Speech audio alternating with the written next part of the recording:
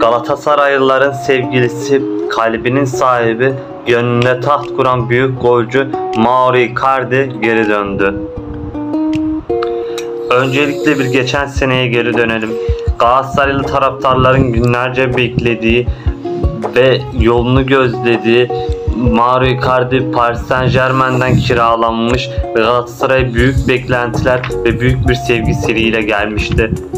Geçen sezon 22 gol ve 7 asiste taraftarın gönlünde tat kuran ve taraftarla arasındaki bağ her geçen gün büyüten Mauro Icardi Galatasaray'da, Galatasaray'ın yaşadığı şampiyonluktaki en büyük pay sahibiydi hiç şüphesiz.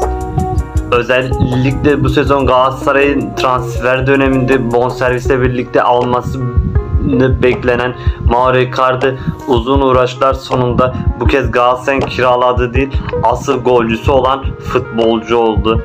Geçen sezon attığı 22 golde Galatasaraylı taraftarın gönlünde taht kuran Mauro Icardi şampiyonluğun en büyük mimarıydı hiç şüphesiz. Aşkın Olayım şarkısını binlerce kişiye dedirten ve Galatasaray'ın en büyük sevgilisi olan Icardi bu kez Galatasaray'a kiralık değil Galatasaray'ın asıl golcüsü olarak geri döndü.